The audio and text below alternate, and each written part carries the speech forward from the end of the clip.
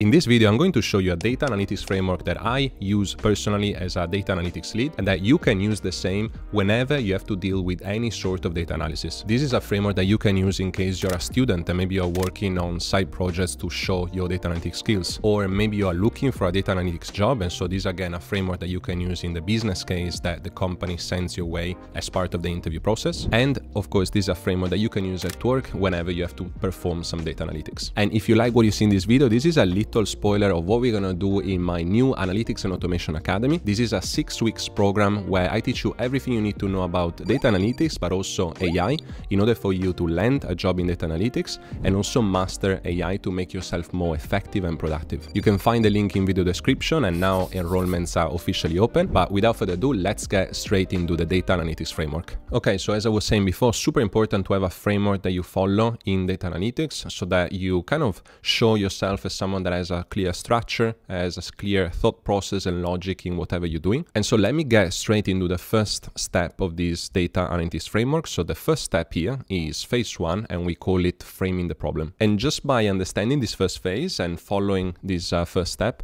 you can already distinguish yourself as someone that, well, doesn't go straight into the data and try to understand insights and build dashboards and, and, charts, but instead really takes a step back to actually understand the problem that we're trying to solve. And so the first thing that we have to do here is what is called stakeholder discovery and persona mapping. So in order for us to start any kind of analysis, we have to understand who is uh, our audience, who is on the other side. And so, and so a method that you can use is actually creating what is called persona cards. And so you can literally define your persona, your stakeholder, defining the roles, the goals, the pain points, and the data fluency. And we're gonna see a real actual example in just a second. Once you define the persona and your stakeholder who is on the other side, then you can define clear, answerable questions following the SMART criteria, which means specific, measurable, achievable, relevant, and time-bound. And so again, this is a simple framework that you can use to really understand the questions that you're trying to answer as part of your uh, data analysis. And so specific Specific means, okay, what do I want to accomplish?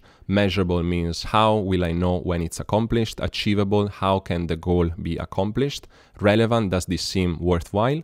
And time bound, when can I accomplish this goal? And so if your question follow most of these five elements, then you are pretty clear that you know where you're going and you know what you're doing. And then once you define your questions, then it's time to translate those questions into uh, KPIs. And so, for example, revenue growth or churn rate. And this may seem a bit theoretical, and this is why I have a very clear example here. So the first step is to identify the persona, so creating a persona card. And so, for example, you may have this Sarah which is a marketing manager. Her pain point is that uh, she doesn't know which channels bring in the best leads. And in terms of data fluency, she's an intermediate. So she uses dashboards but avoids uh, SQL and raw data. And so the smart question that we can define here is okay, which marketing channels generated the highest number of qualified leads in the past 30 days? And so these question here why it's a, it's a good question because it's specific so it's uh, focused on marketing channels and qualified leads is measurable because we literally count the qualified leads per channel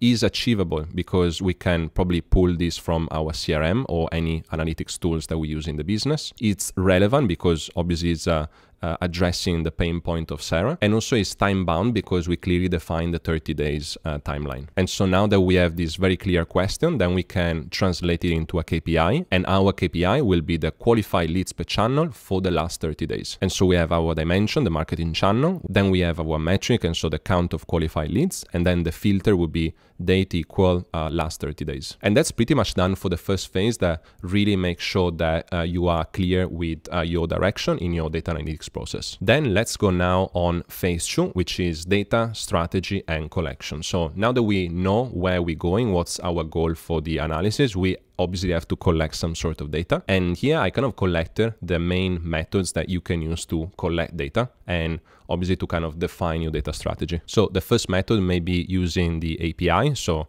here we are dealing with structure and internal data. When you work with API, you can obviously code it yourself with, uh, for example, a tool like Python. You can use tools that make it easier to work with APIs like Postman. So a bit of a mix of code and no code platform, or you can literally go full no code with the tools like Zapier. Then for your data collection, you may want to consider using ETL tools in case you have data sitting in a sort of a data warehouse in a database. That's obviously the majority of the cases because obviously if you're uh, working in data analytics, you probably have access to some sort of database. And so you can use tools like Fivetran, Airbyte, or Talend to uh, really create your ETL, make it automated so that anytime that you need data is pulling it automatically from your data source. In the exceptional case where you cannot use an API and you cannot use a ETL tool, well, you can go to basically collect the data yourself through web scraping. And so again, there are some libraries in Python that are specifically made for web scraping. For example, Beautiful Soup and Scrapy. In some cases, you may deal with uh, uh, data that actually doesn't require a lot of uh, headaches in order to collect it. Maybe it's uh, manual uploads, maybe a small data set. And so here we have spreadsheet tools like Excel and Google Sheets. Or in other cases, you have to actually track the user behavior and events. For example, you know, how people interact with your website. And so here we need uh, tracking tools like uh, Google Analytics 4, Mixpanel and segment. The last method that I put here is maybe more relevant for students that uh, need to collect some sort of data from real people that can be part of the exercise. And so we have surveys and forms. We have tools like Typeform and Google Forms to literally send forms to everyone and actually collect some real data. Okay, so phase two is done. We kind of define how we're gonna collect our data. And then uh, let's go now to phase three, which is data preparation and exploration. And so what I put here is that obviously when you collect some sort of data, you have to make sure that the data is clean. And so things that you may need to do is, for example, handling missing values. And so you can decide how to uh, do imputation of missing values, how to fill in those missing values, maybe with uh, some rules that you define. Or actually you can go with the approach of, you know,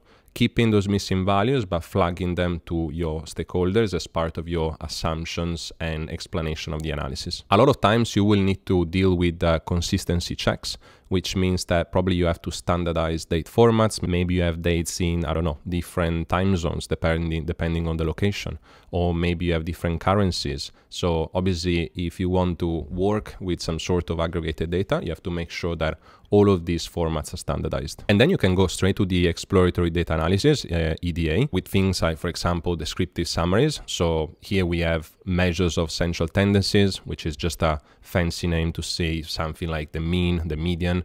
Then you have measures of dispersion and percentiles as well. You can start checking relationships between variables and so checking correlation.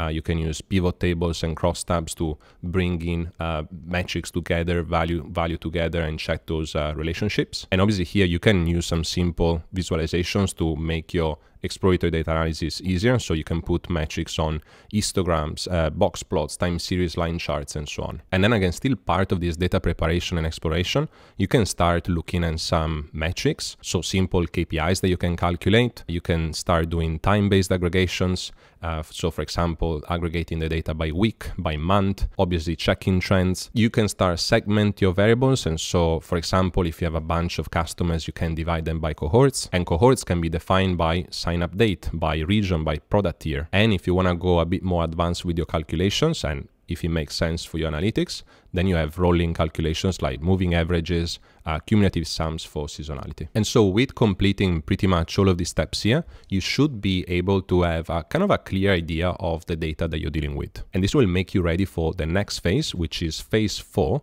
modeling and analysis. And the way that I think about this, the way that I think about the analysis step is basically dividing your type of analysis in three buckets here. And so you have descriptive type of analysis, which basically has the purpose to understand what happened. And here you can simply do, you know, aggregation, data visualization, simple reports, and common tools would be SQL, Power BI, and Tableau. And an example of a question that you might uh, ask yourself here is, what were our sales last quarter? Again, we are trying to understand what happened in the past. Then you have uh, predictive analytics. So we go a bit more advanced because this involves doing some forecast and understanding what might happen in the future. And so here we have some basic machine learning model like uh, regression, classification, and uh, time series forecasting. And so for this, you probably need to uh, start coding a bit in Python and using uh, Python libraries for, for example, scikit-learn for uh, machine learning. And again, if I need to give you kind of a practical example, which customers are likely to churn is a uh, question that you might ask yourself whenever you deal with predictive analytics. The third type of analysis that you may want to explore more is uh, prescriptive analytics.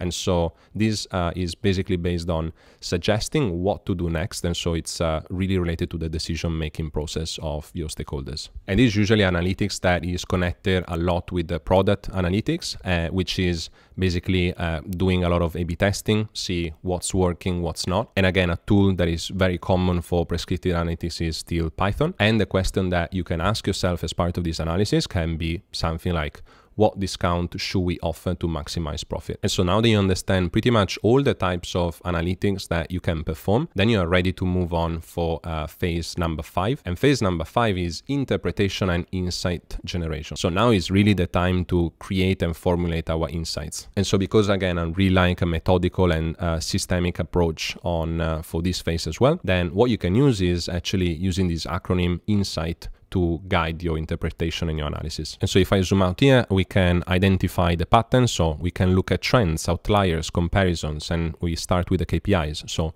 which channel consistently drives qualified leads if we use the first example that we started with in phase one. Then we can narrow down to what actually matters. So for example, we can focus on changes that are significant or unexpected. And so for example, why did conversion drop on the top landing page? Then we can segment the data. So break down KPIs KPIs by persona relevant segments, so channel, device, and region. And so we can ask ourselves, do leads from LinkedIn behave differently than Google Ads. Then we can interpret the why. So here we have to use our domain knowledge and data context to explore causes. And so we are going a bit outside of the data that we have. And so, for example, things like the audience, so things like the user experience may also impact the, the result of our analysis. Then we can start generating hypotheses. And so turning our interpretation into testable ideas. So maybe high cost per click on LinkedIn means fewer but better leads. Then we can highlight opportunities. So uh, what can be optimized, fixed, or scaled. And so, for example, let's double down on Google Ads for cheaper CPL, cost per lead. And then we can tell our story. So we can synthesize the findings into a narrative for the persona, which have to be clear, visual, and actionable. And so if we talk to Sarah, we can say, okay, here's where your best leads are coming from. Here, I want to highlight the golden rule here, which is to always connect the insight back to the persona's pain point and success metric. And so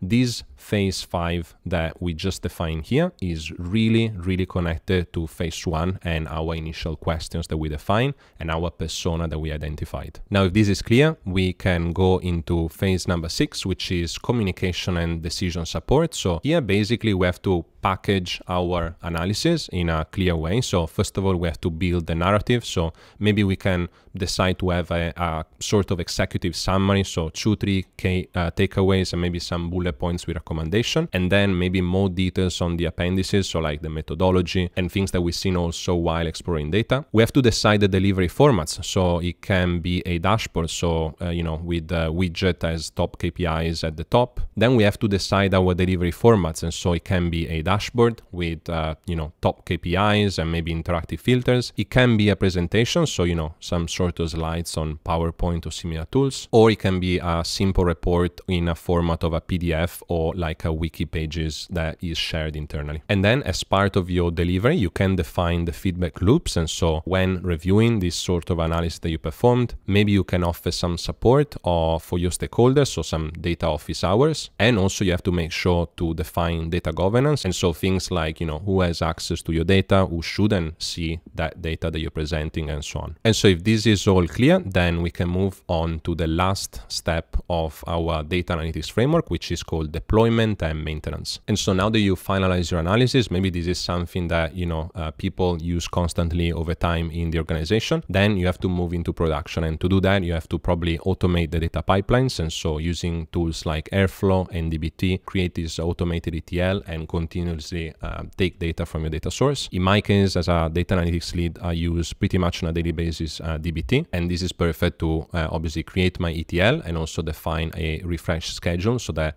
in my case, for example, every morning I know that all of my data is refreshed and goes directly into my dashboards. Things that you can do in DBT as well is the this second part here, monitoring and alerts. And so I set up some uh, data quality rules. And so, you know, uh, if the, there is a refresh in the morning and maybe there is a wrong row count or schema validation, then I need a system that alerts me that, you know, the data is uh, not quality anymore. And so I need to take the appropriate decisions on, you know, how to do it, how to uh, resolve the issue. And in my case, the alert that I set up using uh, DBT is actually to get some automated uh, notifications in a Slack channel that we have internally. And there you have it. This is my data analytics framework that you can follow whenever you're dealing with any sort of data analysis. And as I said at the start, if you're interested in joining a career in data analytics and if you want me to help you in a very personalized and customizable way, then make sure to check the link in the video description because the enrollments for my new Analytics and Automation Academy are officially open and I'm reviewing now all the applications that I'm receiving. I already got students that land a job in data analytics thanks to our work together and I'm definitely looking forward to help you as well in case you're interested. And in case you learn anything new today in this video, make sure to subscribe to my channel so that I can help you even further in the next videos. And well, enjoying the rest of your day. Ciao for now and see you in the next one.